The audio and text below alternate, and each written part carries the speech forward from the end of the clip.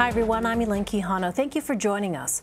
North Korean state media says Kim Jong un expressed, quote, great satisfaction Sunday over recent drills of its weapons system. Pyongyang released these photos of Kim overseeing test runs. They show what appear to be long range multiple rocket launches, as well as a new short range ballistic missile.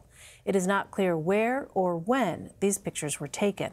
However, it is known North Korea conducted drills off its east coast Friday. The regime fired several projectiles into the Sea of Japan. The actions were detected by South Korea. They immediately rang the alarm.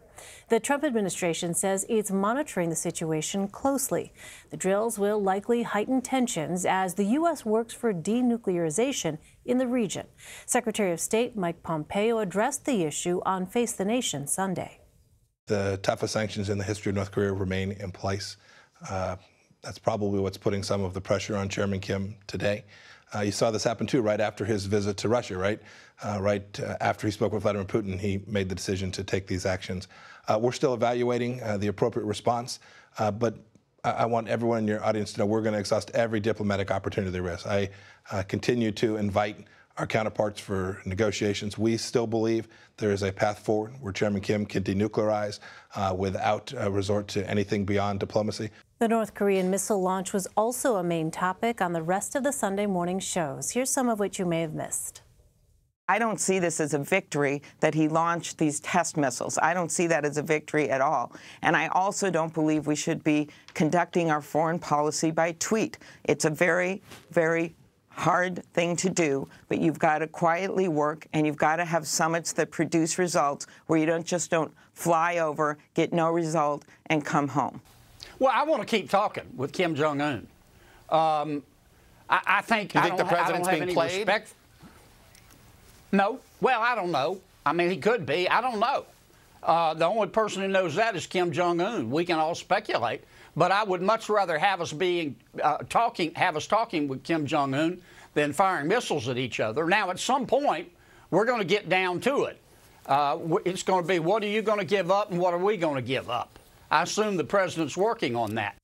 Molly Hooper joins me now. She's a CBSN political contributor. Molly, thanks so much for being here. How could these launches impact American efforts to negotiate North Korea's denuclearization? That's the million dollar question. And what's more is, is how are members of Congress going to be weighing in on this? I mean, given that keep in mind now that we're now that we're at this this state where North Korea is sort of ratcheting up it, it, its actions, Democrats are in the majority in the House, and so the question that I, that I'm going to be following is how the Foreign Affairs Committee Chairman Eliot Engel pursues this um, in in his hearings, and I'm certain that we're going to be seeing that in front of the committee um, in the very near future. I know that there is a hearing in Foreign Affairs at some point over the next week or two on the threats in that area in the in the Pacific region. So so we'll see, but but it's unclear. Well, on Saturday, the president tweeted Kim Jong un fully realizes the great economic potential of North Korea, and he will do nothing to interfere or end it. Do we know what strategies the administration is weighing about the best way to move forward? Again, another great question and one that members of Congress want to know as well because whatever strategies that the, the president wants to implement, he will need the backing and the consent of Congress. And at this point, there's a question mark as to what the president is thinking when it comes to, to, to North Korea. Keep in mind, several, you know, last year when the president started reaching out to, to the North Korean dictator, eh, members of Congress on both sides were, were open-minded about it. And, um, but Democrats in particular who, who followed this closely when President Clinton was in the White House, when he was the president, and also tried to work with the North Koreans on coming up with some negotiations to reduce the nuclear arms, um, said, you know, there comes a point in these negotiations where the Kims do the reverse. And, you know, we haven't hit that point yet, but perhaps this, this recent launch is that point at which um, the Trump administration will have to weigh how to pursue the, how, how, to pursue their options and also given the fact that the defense secretary is an acting defense secretary that adds another wrinkle into this whole um, strategy you know how, where's your where's your Pentagon in all these matters? Well, sticking with foreign policy, Molly, the U.S. and China are meeting this week for what could be the last round of trade talks. What are the big disagreements still being negotiated? Well, I, I, mean, you know, you have you have the human rights issues, and of course, of course, the tariffs of, on on U.S. products and how many how much tariffs to put on the, the Chinese products, and this issue of fairness for farmers in the United States. It's it's a major major issue, and one that Democrats and Republicans, at least on the Ways and Means Committee, seem to have been you know coalescing behind Robert Lighthizer and and they actually see the the you know the benefit in the way that he's pursuing these talks. But again, it's unclear because keep in mind one of the key issues that the United States has with China, um, in addition to uh, the tariffs, has to do with intellectual property, and and how that's going to factor into this final trade deal. Well, that's going to be very complicated. And even though Secretary of State Pompeo says that the that we, the United States still is imposing tough um, the tough sanctions on North Korea, a lot of that has to do with um, China's involvement and willingness to help impose those sanctions. And so that's why these trade talks are so important um, that, that we come to some deal because without China's help in really cracking down on their bankers and whatnot, um, and if you have China miffed at you because you, they don't like the way that the United States is dealing with them on trade, well, those sanctions become less tough on North Korea. So mm-hmm. again, this is this is a very important um, negotiating session that we're going to be seeing this next week. Uh, meanwhile, Molly, the president announced Sunday the new head of the Immigration and Customs Enforcement. In a tweet, he called Mark Morgan, "quote, a true believer and American patriot." What do we know about Morgan? Well, from my understanding, Morgan worked in the Obama administration. He was the head of Customs and Border Control.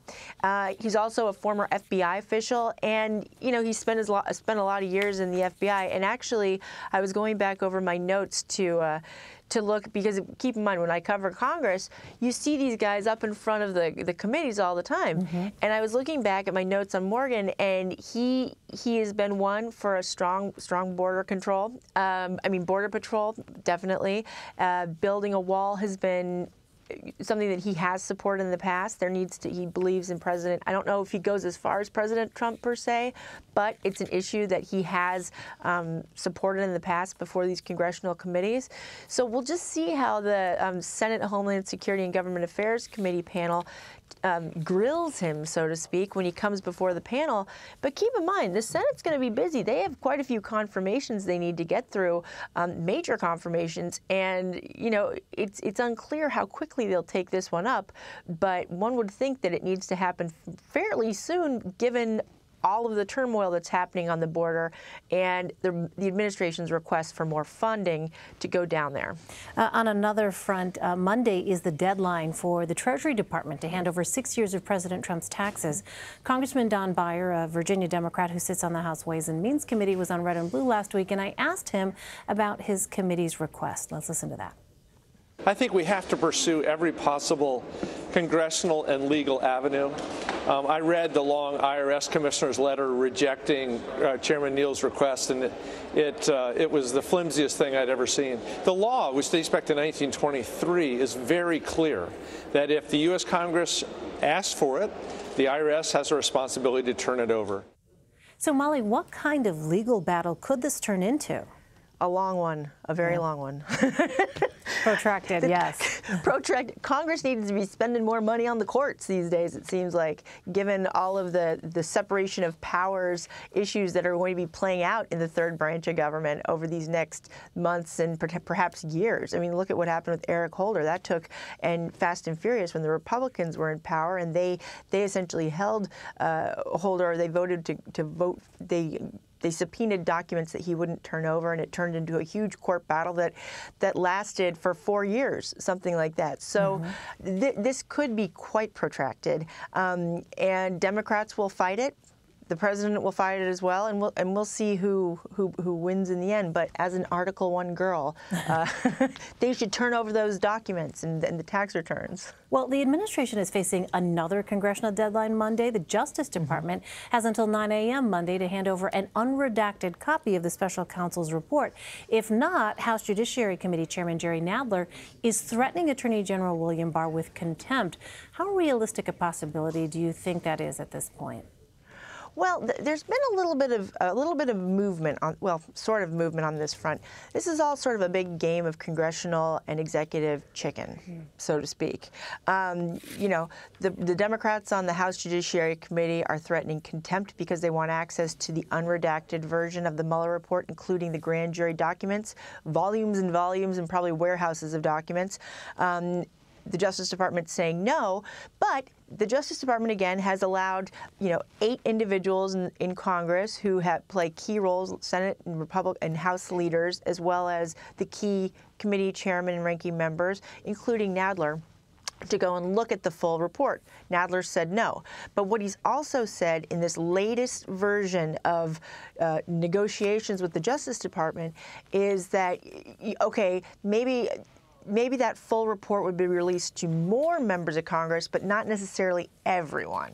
Now, whether the Justice Department agrees to that that sort of negotiation, uh, it's unclear. I have a feeling it probably won't go anywhere because, you know, can, when somebody is being, when, when a member of the administration is being uh, held in, in contempt of Congress, not a lot happens. And in fact, I believe that it's a civil matter. It, it goes to civil court. So, so it's kind of like a slap on the wrist. However, it is a talking point, and it's the administration essentially forcing House Judiciary Democrats' hands, saying, you know, if you really want these documents, launch an impeachment inquiry because then they will get access to it. And Democrats are kind of going up to that line. They don't want to cross it. You know, consider that Speaker Pelosi is saying we are we aren't going to defeat this president. Um, you know, in the extremes, we have to play to the middle here, and impeachment is not in the middle. Yeah, it'll be really interesting to see just how much both sides dig in. Molly Hooper Exactly. in Washington. Molly, thank you. Thank you.